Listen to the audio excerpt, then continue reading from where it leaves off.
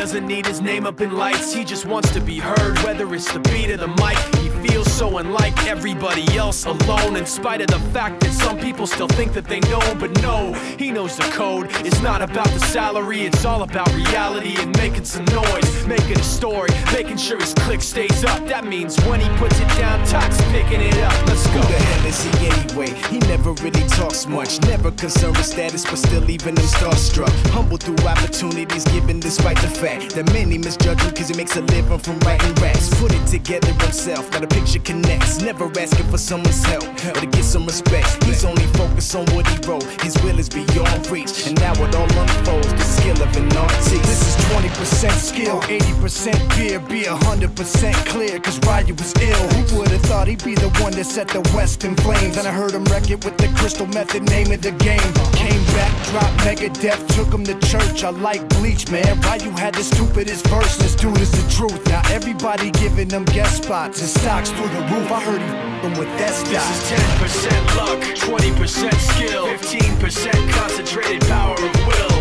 5% pleasure, 50% pain, and 100% reason to remember the name. They call him Ryu, he's sick and he's spitting fire and Mike got him out the dryer, he's hot. Found him in Fort Minor with Tak, but a fucking nihilist porcupine. He's a he's a the type women wanna be within rappers. Hope he gets eight years in the making, patiently waiting to blow. Now the record with notice taking over the globe. He's got a partner in crime. His is equally dope. You won't believe the kind of that comes out of this kid's throat. He's not your everyday on the block. He knows how to work with what he's got, making his way to the top. He think it's a comment on his name. People keep asking him, was it given that birth or does it stand for an acronym?